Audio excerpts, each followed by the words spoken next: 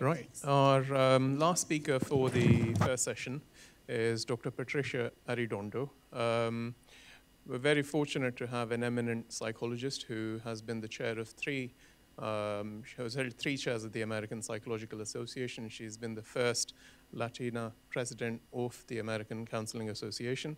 Um, she's been a champion of women's empowerment, immigrant identity, and immigrant mental health.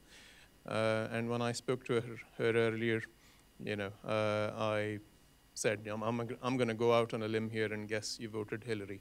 Uh, and um, turned out to be right.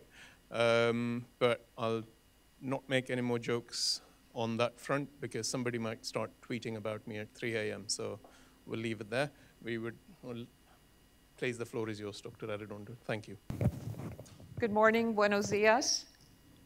I'm speaking to you in Spanish there. For uh, in the United States, fortunately now, if I say buenos dias, I get a response, and that says a little bit more about how the uh, U- U.S. culture is perhaps acculturating more to the presence of Latinos and Latinas in the United States. Um, and I come to you with um, the help of my colleague here. So, in, to begin with, I'd love to um, thank Dr. Wilkins for the really warm invitation and for the hospitality that I've had and received since I arrived, to uh, Diana, who's been a marvelous uh, facilitator of everything uh, that got me here, and to one of my former students who works here, uh, uh, Miss Sarah Bouchon, and um, who I met at the Chicago School of Professional Psychology when I was there as president a few years ago, and uh, had the good fortune to have Sarah as my graduate assistant. And one of the important aspects of my work uh, as a faculty member, as a scholar, is to bring other people along. And I like to think that I continue to be a mentor for Sarah as she has a new career here uh, at the clinic. And so I'm grateful to, uh, to Jeff. Uh, so this is some information about me. I will also present this afternoon at the other uh, uh, uh, workshop, at 90 Minute Workshop. And I have no conflict of interest in making this presentation. I'm going to be talking about the cultural context for doing our work, not only as uh, clinicians, as educators who work with people in the area of addictions, but in general, how to approach the work of clinical practice. And I've been doing this work for many, many years, uh, probably my whole career. And I, I stepped into it not solely because of my, and I'll talk a minute uh, about my interest in culture, broadly speaking, but because I found a, a, lack of attention to culture in my training, a lack of attention to ethnic differences. Even talking about religion was verboten when I was in training. And consequently, it drove me to want to have more attention in a very uh, formal, scholarly way on the topic of culture and multiculturalism.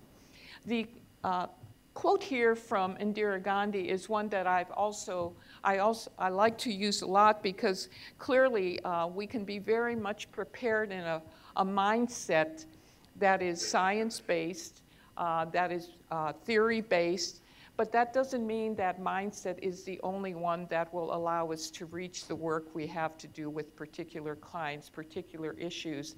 I think Dr. Singh's presentation really uh, was a great exemplar about how we have to be a lot more open minded in terms of the paradigms we refer to in working with families, different cases. So Indira Gandhi reminds us to. To be able to uh, really engage, you have to have an open mind and uh, open hands. The quick objectives are to look at the contextual forces that contribute to national cultural values uh, the work of national cultural values comes from Geert Hofstede, who's a social psychologist from the Netherlands. And Geert Hofstede introduced us to different, paradigm, uh, different points of, of um, forces of uh, national values based on his work in the 50s and the 60s. And in fact, what he proposes is that there are national values that filter from, uh, I guess you could say, on high to institutions, then to agencies, and then into people's lives. Uh, for example, uh, very relevant to the work here are the national, is the national value of individualism versus collectivism. And many of the countries that we're, we're, we're, talking about here in the Gulf states, Latin America, Asia, are very collectivistic cultures. And as a clinician, I have to appreciate that mindset where the family, uh, the community, is what really guides the individual's behavior.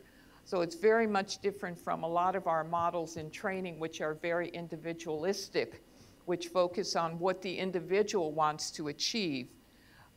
As I say, the collectivistic mindset says, what does the individual want to achieve in relation to family and to community?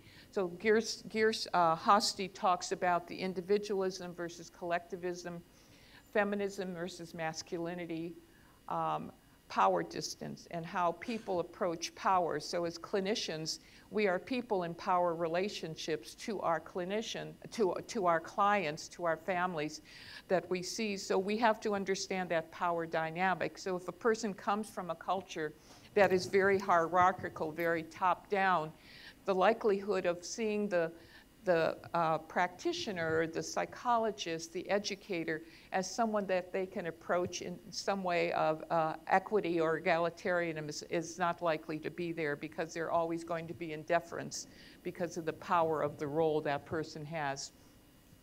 Of course, we, I moved into the area of competency, multicultural competency development, because I saw that a lot of the work we were doing was really not respecting cultural differences oftentimes people judge the, the, the individual client uh, based on their cultural norms, what they thought was normal behavior or abnormal behavior, and that clearly uh, oftentimes led to what I would call unethical practice.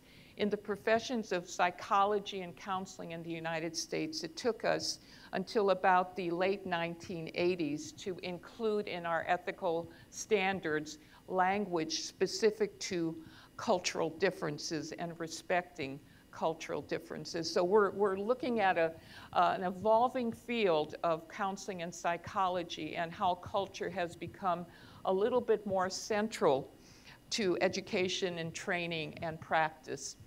Uh, finally, I will talk about the dimensions of personal identity model. And I think this is particularly relevant to use here uh, with clients and with families because it really puts a focus on context, culture, the individual, and looks at the multiple identities we all bring. For example, I, as a, a woman who is uh, more educated, who is Mexican American, who grew up in the Midwest, place, all of those factors play a role in how I see myself and also in how people see me.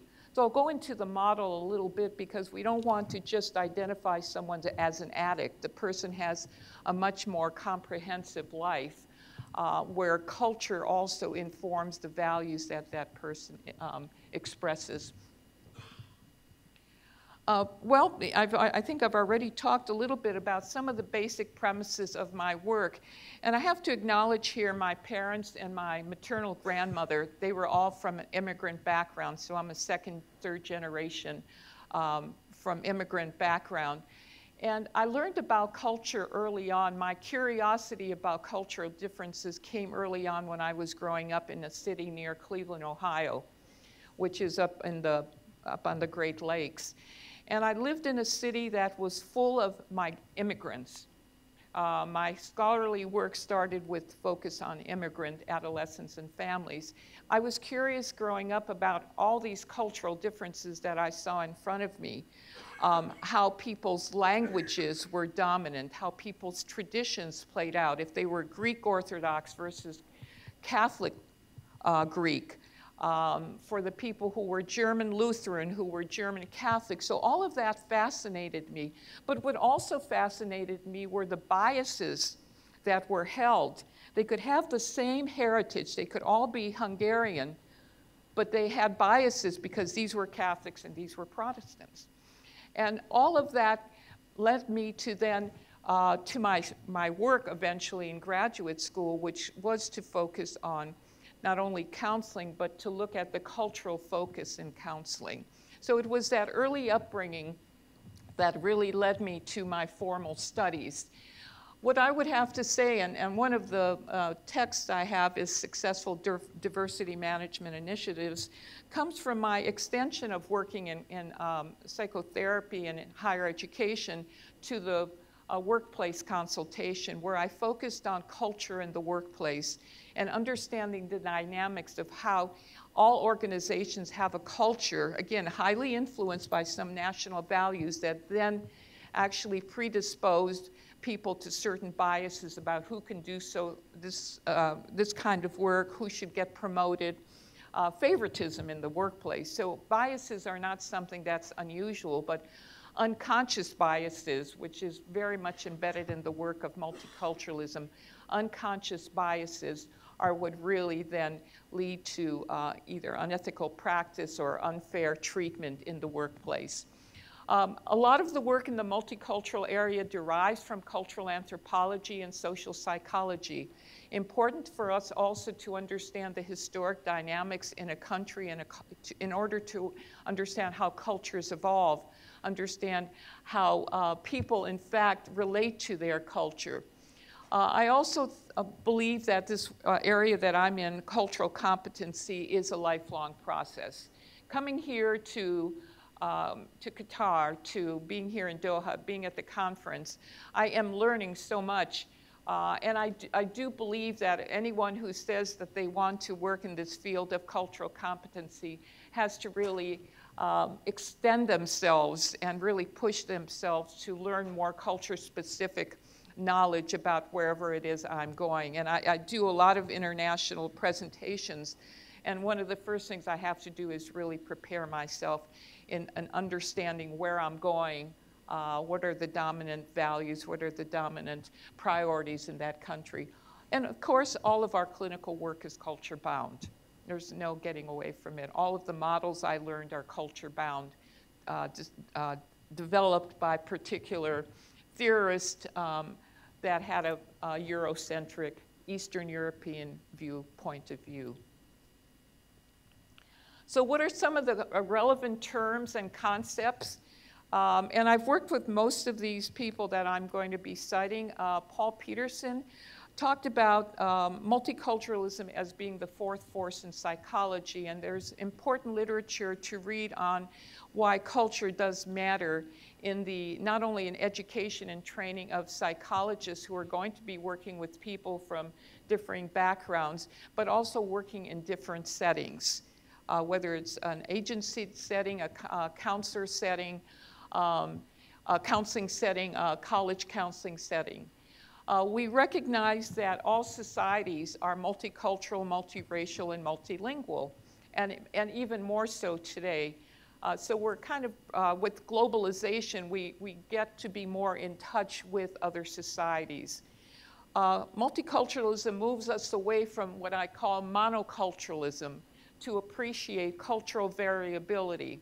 I think in psychology, we used to think about cultural universality, that we're all alike, we're all people, and therefore, you know, the, the uh, approach to, to treatment, the approach to education had to be from these models that we had. Well, we have to really appreciate cultural variability and then culture specific practices.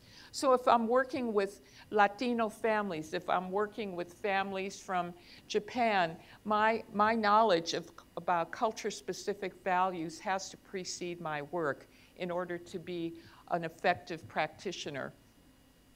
Uh, we also know that um, there are social political realities that come into our work as, as educators, as clinicians, and we can't ignore those social political realities because they affect the lives of the clients we are seeing. Um, and finally, multiculturalism I look at as a very positive, um, um, positivist, holistic mindset, uh, one that moves us away from cultural deficit or cultural deprivation in, in the States, we, we so often talked about people of color, and I would be one of those because I'm Mexican American. So we have four groups in the States who are people of color uh, Latinos, people of Asian heritage, American Indians, and African Americans. So we're the, we're the people of color. Uh, but we also now have more acknowledgement of other marginalized groups in the states uh, based on SES status, people in poverty, people based on their sexual orientation, uh, is another marginalized group that we're beginning to apply a lot of these models to understand uh, how people are, are developing, but also how people have been excluded from the conversation in, in traditional psychology. So cultural deprivation has been, or cultural deficit has been one of the mindsets historically when we um, uh, when we talked about people of color, which is one of the reasons why a lot of us moved into this area to say that we, we had to find a way to have a voice in the development of, of practice and education. One of the key uh, quotes that came out in 1974 to move the American Psychological Association to consider more of how psychology was probably not was, could be potentially harmful uh, was uh, this statement from Korman, who in fact indicated that by providing services to persons of diverse backgrounds, if we're not competent in understanding uh, the, the background, the cultural background, should be considered unethical. Okay, so even as you look at using translations or using a, a an interpreter, you have to really look at the norms of, of, of bringing in an interpreter into the counseling space. Uh, that interpreter has to really be prepared to understand what, cult, what, what the practice of counseling is in order to really be an effective um, interpreter. You know, we saw in the states that oftentimes they would bring in a child to do the interpretation for the parents you know, that of course is verboten because that really in- includes, a, uh, parentifies the child, but also uh, creates some unhealthy dynamics in the family. So we have to look at the ethical practices. And finally, um, what I've said before, traditional Eurocentric models and applications are, in, are ineffective in, in, uh, when applied to culture-specific groups. Um, this whole movement on multicultural competency development started because there were so many people who would drop out of counseling because of their um, because they were people who for whom there was a lot of mistrust with the white practitioner.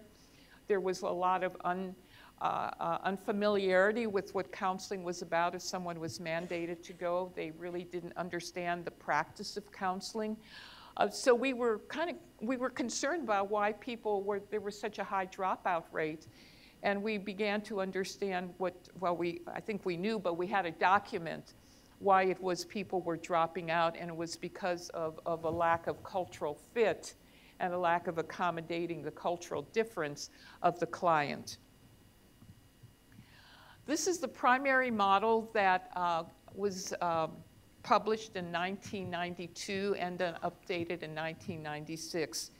And the multicultural counseling competencies have been adopted by the American Counseling Association. Um, I'll talk about the guidelines that have been adopted by the American Psychological Association. But essentially, this model uh, really indicates, let me just see if I can get the the first domain is about us as um, educators, as practitioners, to become aware of who we are as cultural beings. Remember when I, I said one of my first premises is that we're all cultural beings? We all come from a cultural heritage, and in that cultural heritage, we develop, well, we learn. We learn about, uh, we learn our values, we learn about what's, uh, how to communicate, we learn about relationships, uh, we learn about how we see other people. Um, and that, that uh, uh, awareness is uh, important to unpack in order then to work with the client.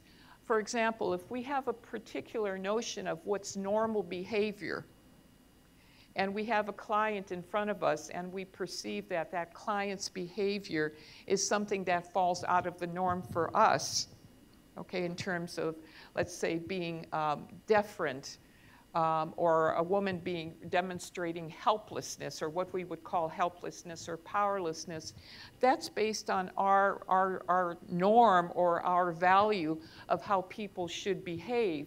So if we judge that and we diagnose it in a certain way, then we're potentially doing some harm to that client because of that cultural misunderstanding. So, unpacking who we are as cultural beings. Here at um, Naufar, you have so many different nationalities working together. So, I think it's probably very easy to have some misunderstandings because of those cultural differences.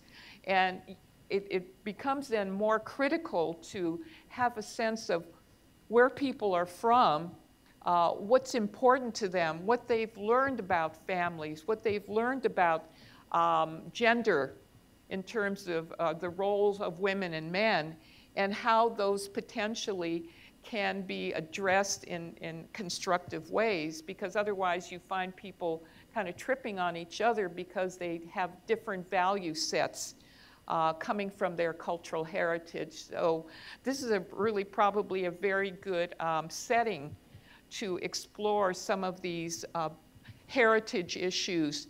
Because then as we look at the second domain here is the counselor awareness of client's worldview, in order to be aware, uh, in order to be open to understand and uh, consider the client's worldview, we have to know ourselves. So here again, the, the counselor awareness, and this is what I push my students to do. Um, I teach multicultural counseling uh, at Arizona State University. It's, I'm lucky enough, I teach only one course. Um, and, and in that course, they have uh, what I call uh, uh immersion experiences.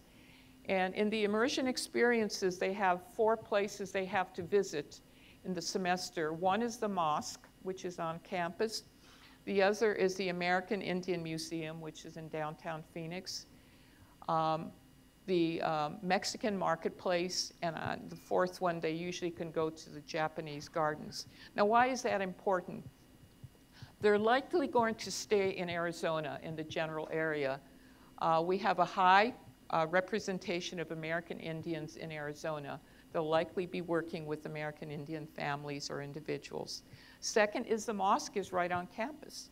Uh, we want, I want our students to have, and to kind of get out of the, all the stereotypes they know about Islam, the stereotypes they've learned about Muslims. And by going to the mosque, you have no idea how much of a transformative experience that has been to them, for them to come back and say to me, or to say to the class, that they have learned that they've unlearned many things. Let me put it this way they've unlearned many things by, by having an educational session at the mosque. So, learning culture specific, having culture specific knowledge is what I think is essential. And then that helps us in terms of looking at a, appropriate intervention strategies, and I'll talk about that in uh, a couple of slides down.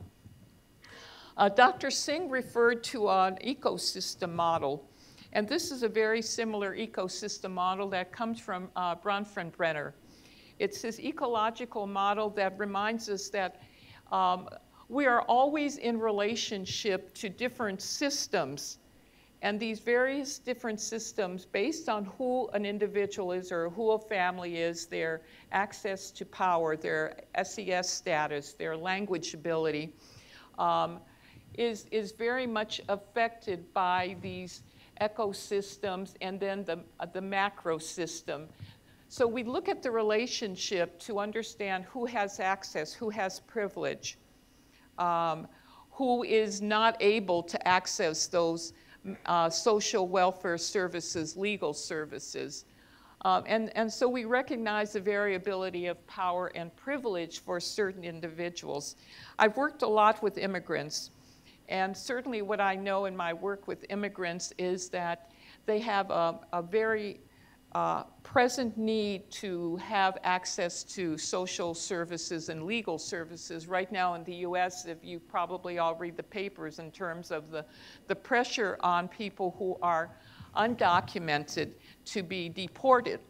Uh, so we have a lot of need for legal services in the United States for these uh, undocumented and even documented immigrants because of the fear that their families will be um, will be separated. If you have a family, right now, one of the big issues in the States are families where the, you have some members who are documented or be, the children were born in the States and the parents weren't. So we have the tension of having the parents deported um, and, and, not, and the children remaining. So legal services um, it becomes a very important contextual factor for individuals and families and something to explore with clients.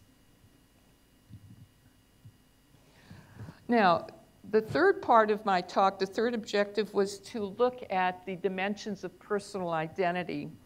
Um, this is a, a, model that I developed uh, based on my work with immigrants because so often I would have um, peers, other clinicians, other educators really bemoaning the fact that they had to work with immigrants, that they had to work with these individuals who didn't speak English well these individuals who came with different customs and very different traditions, uh, where the parents were perhaps not as attending to the, the school as the, uh, the uh, white parents were, parents who were from the States. Uh, so I wanted to be able to demonstrate that immigrants, in fact, have a whole uh, have a whole identity, have a holistic identity that goes beyond their immigrant status. And I think this applies to all of us that we want to be known for being people that have not only these A dimensions, which are more the fixed identities that we're born into, uh, that I have no control over my age, um, my gender, my language, um, my physical and mental well being, uh, sexual orientation, social. Those are all facts or dimensions that we're born into. Some of these are very, very little changeability. I can't change my age anymore, okay? But oftentimes these A dimensions are the ones that are most visible. And so we begin to judge people or have biases, these implicit biases about someone based on those A dimensions because they're more visible, okay? Then I, I want to always talk about the C dimensions for uh, next because, I'll, and I'll use the uh, example of immigrants. Um, for immigrants, immigration is a historical moment, and that sets in motion a, a life change, not only for the individual, but perhaps for the whole family. Um, so a historical moment, let's say, such as immigration, then contributes to some of the opportunities or lack of opportunities or the choices in the B dimension. Um, so an immigrant who, let's say, is of a certain age, let's say 40 year old, uh, and I worked with a lot of people who came as uh, our, the parents, talking about the parents. So uh, they were older, their language was not English. Um, they may have had a professional role, let's say in Vietnam, the Soviet Union, um, the Dominican Republic, people I worked with. But when they came to find an occupation here in the States, their credentials wouldn't work. So they didn't have the choices here for the work experience that um, someone else might have had uh, because of some of those differences in their background. The B dimensions are also ones that, uh, what I, let me step back for a minute, and I look at another historical moment right now. Um, as um, Dr. Singh mentioned, you know, we're talking a lot about immigration and the laws that affect people currently and what that means for access to education, um, access to, um, to, their, um, to their health care practices, so when I think about using this model here at Naufar, every, everyone you're going to be working with has an individual story. And everyone has priority identity dimensions. So if I were to tell you my priority dimensions right now, my A dimensions are, are age, gender, and um, physical well-being. Those are my priority ones. Uh, they're more important to me than any of the other A dimensions right now. My priority B dimensions are um, work and healthcare and relationship status. Those are my priority. You know, my education is already in the box, if you would. I move around a lot, and place is important to me, but that's not a primary um, identity factor for me right now. And of course, in historical moments, as a daughter of immigrants, as a person who's grown up, went to school in the 70s, I had the benefits of a lot of access to higher education uh, at that time as a woman that my mother would not have had. So the, the, it's just important to look at a person in their whole, in the whole possibility of who they are. Um, and I like to use this. My uh, a lot of clinicians use this in part of a, an intake, not necessarily the first day that they're working with a client, but for the client to tell his or her own story, they might use this model.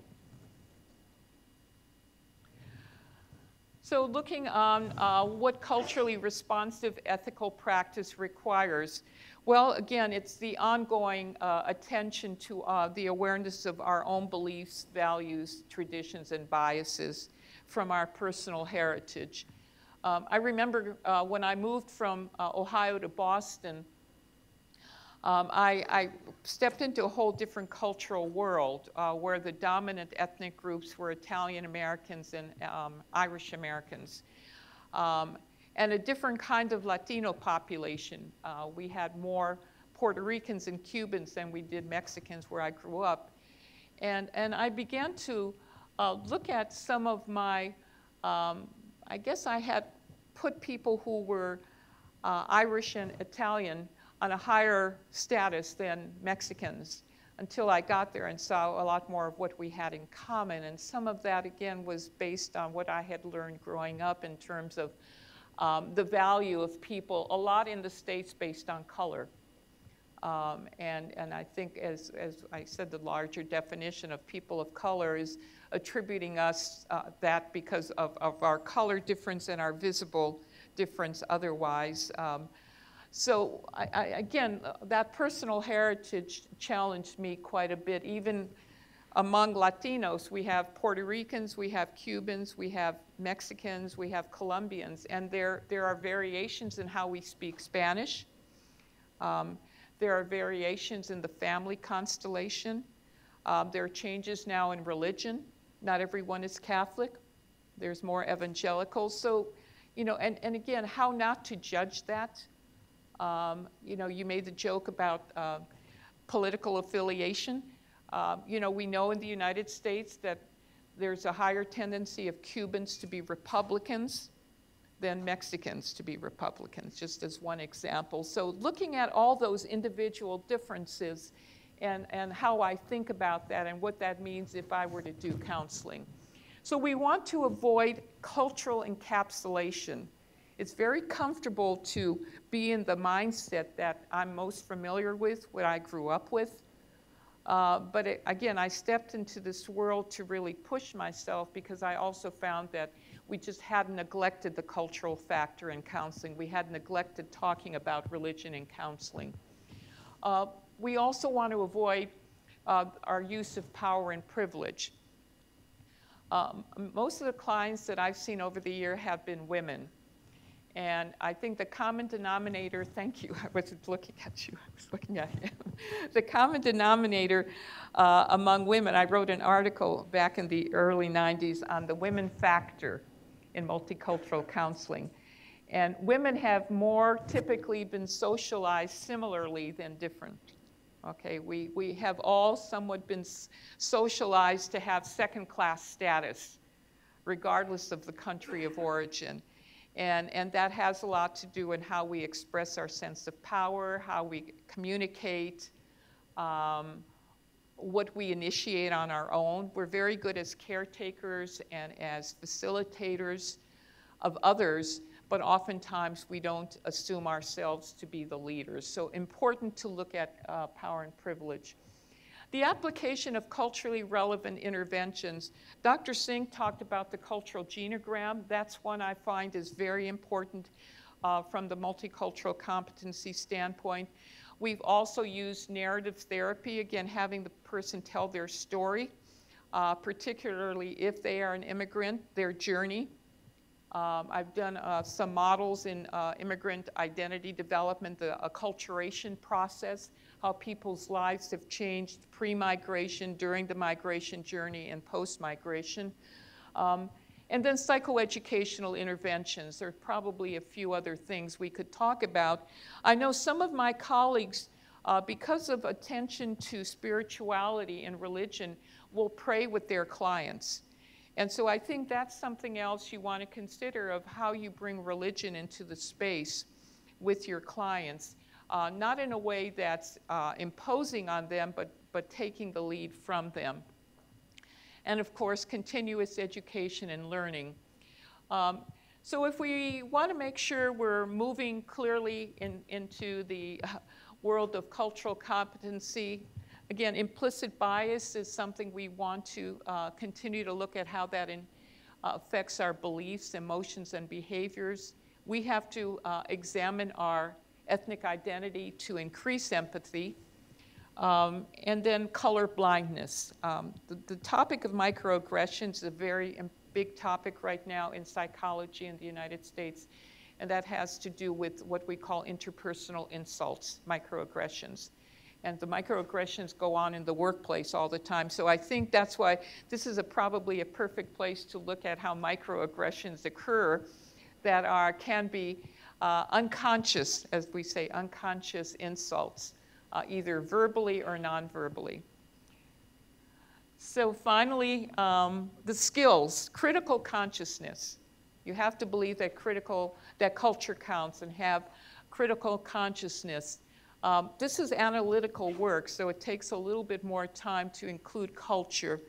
Recognize that there are different help-seeking approaches. Uh, seek consultation from cultural brokers and promote the respect for cultural differences at work. And that's ending with that.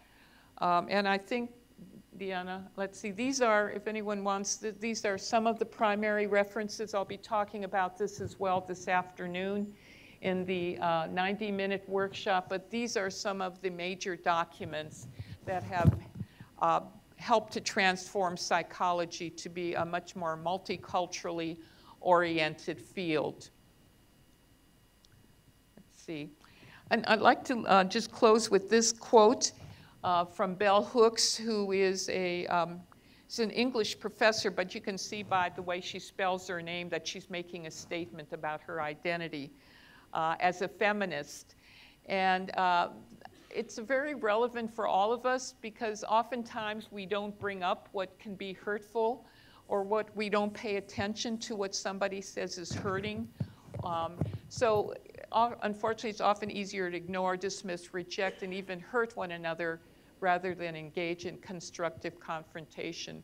When we're in a space where there are a lot of cultural differences going on, constructive dialogue, constructive confrontation is essential. So thank you very much, and I appreciate uh, being here again.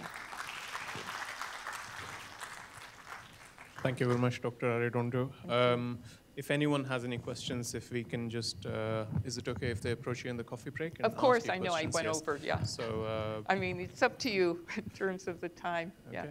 So thank you very much again, Dr. Arredondo. This is very enlightening. And thank you. Um, we shall be back at 10 o'clock to pick up where we left off.